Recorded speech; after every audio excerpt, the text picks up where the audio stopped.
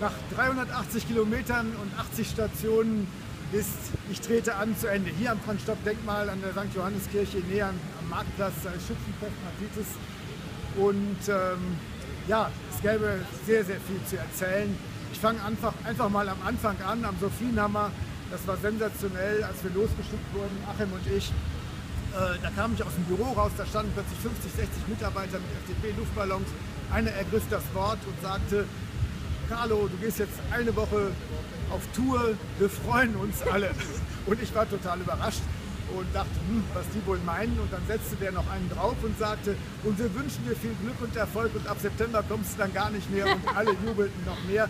Also äh, irgendwie war es ein guter Start, ein bisschen drüber nachdenken musste ich trotzdem. Als erstes möchte ich hier mal ein riesengroßes Dankeschön sagen ans Team. Ja, ähm, Achim, unser Tourleiter, fantastisch geplant. Wir waren fünf Minuten vor der angekündigten Endzeit hier am Franz-Stock-Denkmal. Ähm, Max, du machst die Aufnahmen. Ich weiß nicht, wie viele Statements du eingefangen hast und wie viele Bilder. Ähm, Max und Lorenz sind super gefahren. Ich glaube, Max packt gerade sogar noch. Äh, Karin hat die äh, Termine vorbereitet und äh, viele, viele mehr. Ähm, ohne dem äh, wäre das alles nicht gegangen. Es gibt dazu ein afrikanisches Sprichwort, willst du schnell gehen, geh allein. Äh, willst du weit kommen, fahr mit der ganzen Mannschaft. Und äh, das hat also super geklappt, ganz fantastisch, riesengroßes Dankeschön.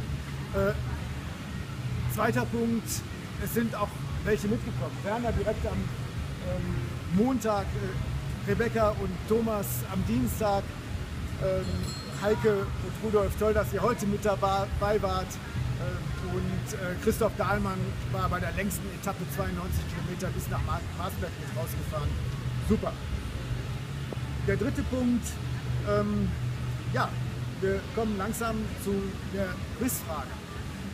Was haben Franz Stock und Forrest Gump gemeinsam? Ich habe also hier mal drei Antworten äh, dabei, die ein Quiz gewonnen haben. Und da fangen wir mal an.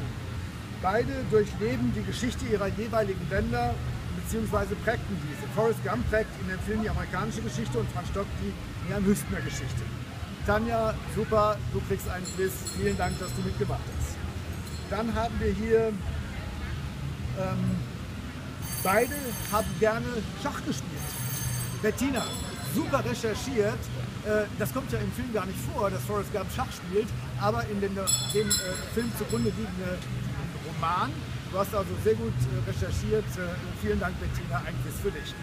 Und dann haben wir hier Beide haben etwas zur Völkerverständigung beigetragen. Franz Stock zwischen Deutschland und Frankreich, Forrest Gump zwischen China und den USA. Irgendwie aktueller denn je, oder? Schreibt Rainer Schulte. Rainer, vielen Dank für deinen Beitrag. Du gewinnst auch ein Quiz.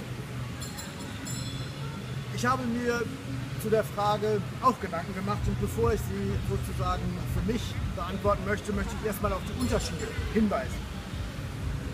Franz Stock war ein Held der Wirklichkeit. Forrest Gump ein Herr der Dichtung des Films. Franz Stock ist jung und erschöpft gestorben, hat seinen Aufgaben gebrochen am Ende. Ähm, Forrest Gump dagegen war am Ende reich, alleinerziehend äh, und in der Geschichte äh, bleibt es offen, wann er stirbt. Forrest Gump war nicht sehr gebildet, er war eher einfach. Franz Stock war Akademiker und hat gelernt. das, was die beiden verbindet, ist, sie haben mit ihren Aufgaben, sie haben ihre Aufgaben angenommen und ihr Bestes gegeben.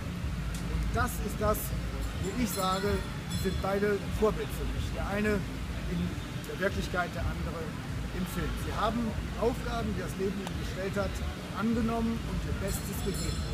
Mehr kann man eigentlich nicht tun. Ich werde in diesem Wahlkampf nichts versprechen, was ich nicht halten kann. Aber eins verspreche ich an dieser Stelle. Ich werde mein Bestes geben. Zukunft schmieden, denken wir neu.